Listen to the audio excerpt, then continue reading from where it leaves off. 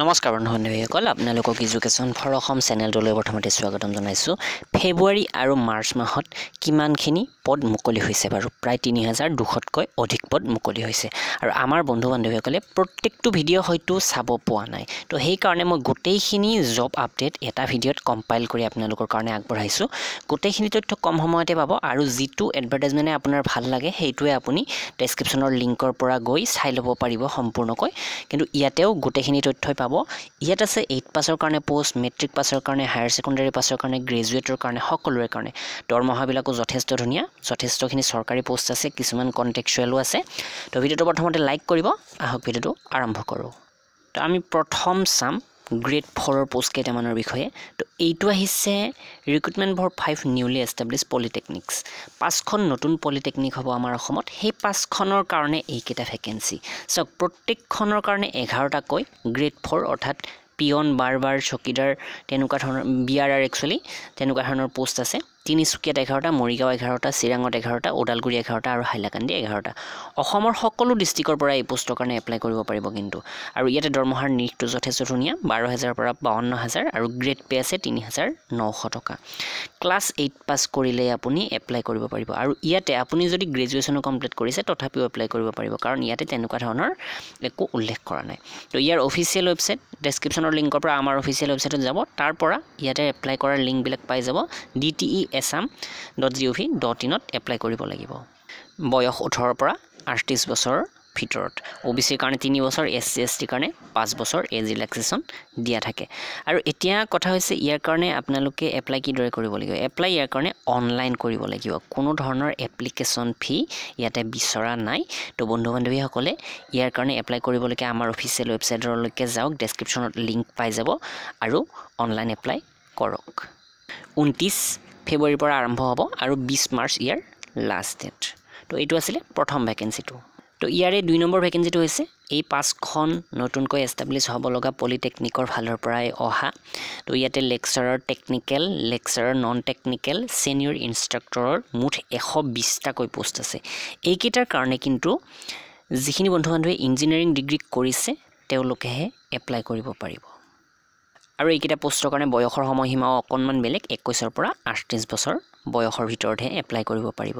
ঊনত্ৰিছ তাৰিখৰ পৰা আৰম্ভ হ'ব বিছ মাৰ্চত ইয়াৰ লাষ্ট ডেট তো আপোনালোকে ডেছক্ৰিপশ্যনৰ লিংকৰ পৰা আমাৰ অফিচিয়েল ৱেবছাইটলৈকে আহিব আৰু ইয়াতে সকলোবিলাক লিংক আপোনালোকে পাই যাব। হোমত যাব পাৰে বা অসম চৰকাৰৰ চাকৰিৰ কাৰণে এছাম গভ জব চেণ্ট্ৰেল গভমেণ্টৰ কাৰণে central gov job admit card আৰু এক্সাম আপডেট পাবলৈকে ইয়াতে আৰু এক্সামৰ কাৰণে বিভিন্ন গাইড বুক চাব পাৰে এই ছেকশ্যনটোত এক্সাম গাইড বুকত তো এতিয়া চাব ডি টি ইৰ অফিচিয়েল ৱেবছাইটত মই আপোনালোকক লৈ যাওঁ। তো এইটো হৈছে অফিচিয়েল ৱেবছাইটটো আৰু ইয়াতে গোটেইকেইটা এডভাৰ্টাইজমেণ্ট দিয়া আছে। এপ্লাই কৰাৰ লিংক কিন্তু বেলেগ সেয়া আমাৰ অফিচিয়েল ৱেবছাইট এছাম জব এক্সামত পাব। তো ইয়াৰ লিংক যেতিয়াই খোল খাব তেতিয়াই মই ইয়াতে লিংকটো দি দিম অনলাইন এপ্লাইৰ তো ইয়াৰ পিছৰ পষ্টটোৰ বিষয়ে চাওঁ আমি। District legal services authority Kamrup metro' গুৱাহাটীৰ ফালৰ পৰা আহিছে এই এডভাৰ্টাইজমেণ্টটো ফ্ৰণ্ট অফিচ কৰ্ডিনেটৰ এটা পোষ্ট যিটোৰ কাৰণে ডিগ্ৰী কৰা হ'ব লাগিব আপুনি আৰু ছমাহৰ কম্পিউটাৰ চাৰ্টিফিকেট লাগিব বিছ হাজাৰ মাহিলী দৰমহা। আৰু ডাটা এণ্ট্ৰি অপাৰেটৰ এটা পোষ্ট এইচ এছ পাছ হ'লেই হ'ব। আৰু কম্পিউটাৰ ছমাহৰ ডিপ্ল'মা দৰমহা কিন্তু ইয়াতে কম বাৰ হাজাৰকৈ দিয়া আছে। আৰু ড্ৰাইভাৰৰ এটা পোষ্ট আছে যিটোৰ কাৰণে এইট পাছ হ'লেই হ'ব কিন্তু আপোনাৰ প্ৰফেচনেল ড্ৰাইভিং লাইচেঞ্চ লাগিব। দৰমহা দহ হেজাৰ। তো ইয়াৰ কাৰণেও আপোনালোকে এপ্লাই কৰিব পাৰে। ইয়াৰ বিষয়ে ডিটেইল জানিবলৈ আপোনালোকে ডেছক্ৰিপশ্যনৰ ভিডিঅ'টো চাবগৈ। তাৰোপৰি ডি এল এছে কামৰূপ মেট্ৰ' ফালৰ পৰা অন্য এটি ভেকেঞ্চিও আহিছে যিটো লোৱাৰ ডিভিজন এছিষ্টেণ্টৰ এইটো কণ্টেক্সুৱেল নহয় এইটো পাৰ্মানেণ্ট পষ্ট হয়। তো ইয়াতে দহ দিন সময় আছে আপোনালোকৰ হাতত বৰ বেছি টাইম নাই। তো অলৰেডি তিনি চাৰিদিন গুচি গৈছে আৰু নেক্সট উইকৰ ভিতৰত আপোনালোকে ইয়াৰ কাৰণে এপ্লাই কৰিব লাগিব। লোৱাৰ ডিভিজন এছিষ্টেণ্ট এই পষ্টটোৰ কাৰণে কিন্তু আপোনালোকে গ্ৰেজুৱেশ্যন কৰা হ'ব লাগিব আৰু কম্পিউটাৰ নলেজ লাগিব। ষ্টেণ্ডাৰ্ড ফৰ্ম ফিল আপ কৰি আপোনালোকে এপ্লাই কৰিব লাগিব। ষ্টেণ্ডাৰ্ড ফৰ্ম আপোনাৰ অফিচিয়েল ৱেবছাইটৰ পৰা ডাউনলোড কৰিব পাৰিব। লিংকবিলাক দিয়া আছে। তো যিটো কামৰূপৰ এইটো official website Kamrup judiciary dot G O' V dot ইনত গৈও আপোনালোকে ইয়াৰ কাৰণে কি কি লাগে সেইখিনি চাই ল'ব পাৰে। আৰু মাজতে আপোনালোকক এখন কিতাপৰ কথা কওঁ। অসম পুলিচ ছাব ইনস্পেক্টৰৰ কাৰণে উলিওৱা এইখন কিতাপ যথেষ্ট ধুনীয়া কিতাপ। দুশ ঊনপঞ্চাছ টকা মাথো যদি অনলাইন কিনে। অফলাইন কিনিলে আপোনালোকে চাৰিশ টকা ভৰিব। তো ডেছক্ৰিপশ্যনৰ লিংকৰ পৰা এইখন অৰ্ডাৰ কৰি ল'ব। এইখন কিতাপ মাথো অসম পুলিচ বুলিয়েই নহয় আমাৰ অন্যান্য এক্সামৰ কাৰণে কামত আহিব। কাৰণ ইয়াতে যথেষ্ট পৰিমাণৰ অসম জিকে আছে। তাৰোপৰি ৰিজনিং এপ্টিটিউড কম্প্ৰিহেনশ্যন জিকে এইবোৰো আপোনালোকে পাব। তো এইখন সোনকালে অৰ্ডাৰ কৰি কিনি ল'ব। ইয়াৰ পিছতে ফেব্ৰুৱাৰী মাৰ্চ মাহৰ আটাইতকৈ ডাঙৰ যিটো আৰু ভাল খবৰটো আহিছিলে অসম পুলিচৰ ফালৰ পৰা। বাৰশ তিৰাশীটাকৈ কনষ্টেবল ফায়াৰমেন আৰু অন্যান্য পোষ্ট আহিছে এ পি আৰৰ ফালৰ পৰা।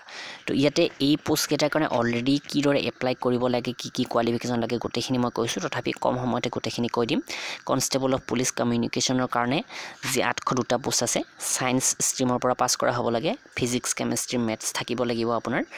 আৰু ইয়াতে অভিজ্ঞতা কিছুমান ক্ষেত্ৰত লাগে কিছু ক্ষেত্ৰত নালাগে। তো নহ'লেও আপোনালোকে এপ্লাই কৰিব পাৰিব। তো ইয়াৰ পিছত constable of police U B আছে যিটোৰ কাৰণে এইচ এছ পাছ হ'লে আপুনি এপ্লাই কৰিব পাৰে। কিন্তু যথেষ্ট কম পোষ্ট আছে মাথো তিনিটা পোষ্ট আছে হায়াৰ ছেকেণ্ডেৰী পাছ হ'লে আপুনি এপ্লাই কৰিব পাৰে।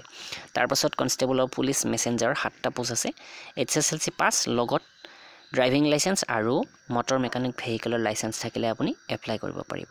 কাৰ্পেণ্টাৰৰ এটা পোষ্ট আছে যিটোৰ কাৰণে মেট্ৰিক পাছ আৰু আই টি আই কাৰ্পেণ্টাৰ ট্ৰেডৰ লাগিব। তাৰপাছত ফায়াৰ আৰু ইমাৰ্জেঞ্চি ছাৰ্ভিচৰ ফালৰ পৰা যিকেইটা আছে এইকেইটাৰ কাৰণে ছাব অফিচাৰ ফায়াৰমেন বা ইমাৰ্জেঞ্চি ৰেস্কিউৰ সকলোৰে কাৰণে হায়াৰ ছেকেণ্ডাৰী ছায়েন্স ষ্ট্ৰীমৰ পৰা পাছ কৰা হ'ব লাগিব। তো ইয়াতে এতিয়া এপ্লাই কৰাৰ লিংক বা বাকী সকলোবিলাক মই দিয়ে দিছোঁ আপোনালোকে এইখিনি চাই ল'ব। আৰু ইয়াৰ লাষ্ট ডেট বা সেইখিনি হেৰি হৈছে পোন্ধৰ মাৰ্চ দুহেজাৰ বিছ তো ইয়াৰ পিছতে অন্য এটি ভেকেঞ্চি যিটো গ্ৰেড ফ'ৰ প'ষ্ট হয় এইট পাছ সকলেই এপ্লাই কৰিব পাৰিব। এইট পাছ নহয় আপোনালোকে যদি গ্ৰেজুৱেশ্যনো কৰিছে তথাপি ইয়াতে এপ্লাই কৰাৰ আপোনালোকক সুযোগ দিয়া হৈছে। তো এইটো directorate of technical education Assam Kahilipara গুৱাহাটীৰ ফালৰ পৰা আহিছে। তো ইয়াতে চাওক ধেমাজি ইঞ্জিনিয়াৰিং কলেজ যিখন নতুনকৈ স্থাপন কৰা হৈছে তাতে গ্ৰেড ফ'ৰৰ অৰ্থাৎ পিয়ন চকীদাৰ তেনেকুৱা ধৰণৰ পষ্টৰ প্ৰয়োজন হৈছে। বি আৰ আৰ পিয়ন চকীদাৰ ৱৰ্কশ্বপ যোগালী মুঠ ত্ৰিছটাকৈ পোষ্ট আছে সেইবিলাক ভগাই দিয়া হৈছে। আৰু ইয়াৰ লাষ্ট ডেট হৈছে তিনি মাৰ্চ দুহেজাৰ বিছ হাতত কিন্তু বৰ বেছি দিন সময় নাই আপোনালোকৰ। ইয়াৰ কাৰণে এপ্লাই কৰাৰ প্ৰচেছটো মই অলৰেডি আপোনালোকক দেখুৱাই দিছোঁ ভিডিঅ' বনাই। সেইবোৰো চাই ল'ব পাৰে আমাৰ চেনেলত ওঠৰৰ পৰা আঠত্ৰিছ বছৰ সকলোৱে এপ্লাই কৰিব পাৰে কোনো ধৰণৰ আবেদন মাচুল ইয়াতে বিচৰা নাই। ঠিক অন্য এটি এডভাৰ্টাইজমেণ্ট যিটো ধেমাজি ইঞ্জিনিয়াৰিং কলেজৰ ফালৰ পৰাই আহিছে। তো ইয়াতে গ্ৰেড থ্ৰীৰ পোষ্ট তো যিকেইটা পোষ্ট হৈছে জুনিয়ৰ এছিষ্টেণ্ট এক নম্বৰতে আঠটাকৈ আছে। বেচেলৰ ডিগ্ৰী অৰ্থাৎ আপোনালোকে ডিগ্ৰী কমপ্লিট কৰা হ'ব লাগিব। আৰু কম্পিউটাৰ প্ৰফিচিয়েঞ্চিটো কিন্তু মাষ্ট বি দৰমহাও যথেষ্ট ধুনীয়া। তাৰপাছত আছে junior instructor H S L C pass হ'লেই হ'ব কিন্তু আপোনাক আই টি আই লাগিব লগতে পাঁচ বছৰ এক্সপিৰিয়েঞ্চ লাগিব ইয়াতে। তো এইটো এক্সপিৰিয়েঞ্চ থকা কেণ্ডিডেটেহে এপ্লাই কৰিব পাৰিব। চাইণ্টিফিক এছিষ্টেণ্ট ফিজিক্সৰ এটা পোষ্ট আছে। ছায়েন্স ষ্ট্ৰীমৰ পৰা ডিগ্ৰী যদি পাছ কৰিছে আপুনি ইয়াৰ কাৰণে এপ্লাই কৰিব পাৰে। আৰু চাইণ্টিফিক এছিষ্টেণ্ট কেমেষ্ট্ৰিৰ এটা আছে তো এইটোৰ কাৰণেও ডিগ্ৰী ছায়েন্স ষ্ট্ৰীমৰ হ'ব লাগিব।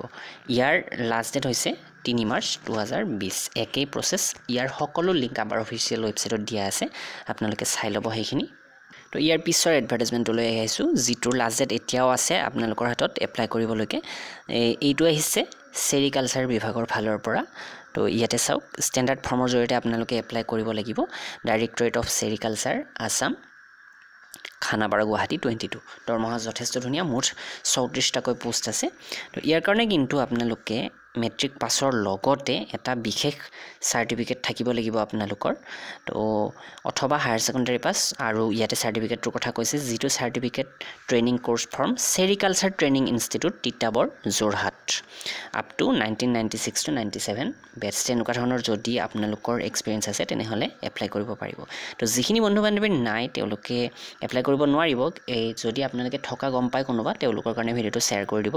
আৰু ইয়াৰ লাষ্ট ডেট হৈছে ন মাৰ্চ দুহেজাৰ বিছ ইয়াৰ পিছতে আটাইতকৈ ডাঙৰ এটি ৰিক্ৰুটমেণ্ট আহিছে এছ এছ চিৰ ফালৰ পৰা যিটো ফেচ এইটৰ ৰিক্ৰুটমেণ্ট হয়। ইয়াতে matric pass higher secondary pass বা গ্ৰেজুৱেট সকলোৰে কাৰণে পোষ্ট আছে। তেৰশ পঁচপন্নটাকৈ পোষ্ট আছে। তো ইয়াৰ কাৰণেও আপোনালোকে এপ্লাই কৰিব পাৰিব। ইয়াৰ কাৰণে এপ্লিকেশ্যন ফি আছে কিন্তু এপ্লিকেশ্যন ফি এশ টকা পে' কৰিব লাগিব। অনলাইন আবেদন অলৰেডি ৰৈ থকা হৈছে লাষ্ট ডেট হৈছে বিছ মাৰ্চ দুহেজাৰ বিছ আৰু ইয়াতে প্ৰথম যিকেইটা পোষ্ট মেট্ৰিক লেভেলৰ এইকেইটা পোষ্টৰ নাম ইয়াতে দিয়া আছে। Office attendant field attendant photographer তেনেকুৱা ধৰণৰ। তো অল ইণ্ডিয়া বেচিছ হয় এই পোষ্টকেইটা তো আমাৰ অসমতো কিছুমান পোষ্ট আছে। কলিকতা বা ওচৰ চুবুৰীয়া তেনেকুৱা ৰাজ্যত আপোনালোকে পষ্টিং পাব পাৰে। তো আপোনালোকে গোটেই এডভাৰ্টাইজমেণ্টটো ভালদৰে চাই ল'ব পাৰে। ইয়াতে এডভাৰ্টাইজমেণ্টটোত ক'ত ক'ত পোষ্ট খালী হৈছে সকলোখিনি দেখুওৱা আছে। মই অলৰেডি এটা ভিডিঅ' বনাই আপোনালোকক দেখুৱাইছিলোঁ। আপোনালোকে সেইটো চাই ল'ব আৰু সেইমতে এপ্লাই কৰিব।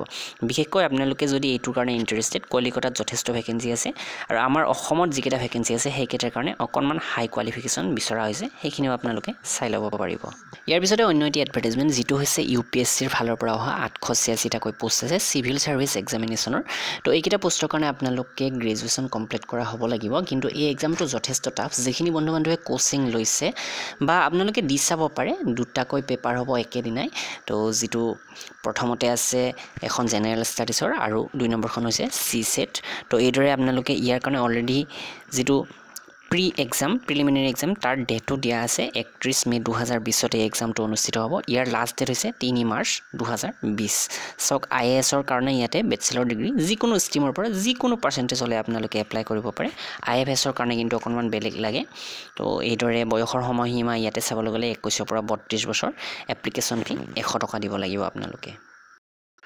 তো অন্য এটি ইম্পৰ্টেণ্ট এডভাৰ্টাইজমেণ্ট যিটো আমাৰ এই পাঁচখন পলিটেকনিকৰ ফালৰ পৰাই অহা এইটো মই আপোনালোকক প্ৰথমতে ক'ব নহ'ল। তো ইয়াতে জুনিয়ৰ এছিষ্টেণ্টৰ মুঠ পোন্ধৰটা পোষ্ট আছে। তিনিচুকীয়াত তিনিটা মৰিগাঁও তিনিটা এনেকৈ তিনিটা তিনিটাকৈ ভগাই দিয়া হৈছে পাঁচখনতো। আৰু ইয়াৰ কাৰণে বেচেলৰ ডিগ্ৰী আৰু কম্পিউটাৰ প্ৰফিচিয়েঞ্চি আপোনাৰ মাষ্ট বি অসমৰ সকলো জিলাৰ পৰা এপ্লাই কৰিব পাৰে। জুনিয়ৰ ইনষ্ট্ৰাক্টৰ এইটোৰ কাৰণে কিন্তু এক্সপিৰিয়েঞ্চ লাগিব। পঁচিছটা পোষ্ট আছে পাঁচটাকৈ ভগাই দিয়া হৈছে। চাইণ্টিফিক এছিষ্টেণ্টৰ পাঁচটা পোষ্ট আছে। ছায়েঞ্চ ছিষ্টেমৰ পৰা ডিগ্ৰী কৰা হ'ব লাগিব। আৰু চাইণ্টিফিক এছিষ্টেণ্ট কেমেষ্ট্ৰিৰ পাঁচটা আছে। এইটোৰো ছায়েঞ্চ ছিষ্টেমৰ পৰা পাছ কৰা। হ'ব লাগিব। তো ইয়াতে এপ্লাই লাষ্ট ডেট বিছ মাৰ্চ দুহেজাৰ বিছ। তো বন্ধু বান্ধৱীসকলে নিশ্চয় গমেই পালে এইখিনি কথা। আৰু আগন্তুক এছ এছ চি এক্সামৰ কাৰণে আপোনালোকে এই কিতাপখন কিনি ল'ব পাৰে। ডেছক্ৰিপশ্যনত মই লিংক দি দিছোঁ। যথেষ্ট ধুনীয়া কিতাপ। অসমৰ ইৰিগেশ্যনৰ এক্সামৰ কাৰণেও এই কিতাপখন হেল্পফুল হ'ব আপোনালোকৰ। তো ভিডিঅ'টো লাইক শ্বেয়াৰ নিশ্চয় কৰিব। ধন্যবাদ।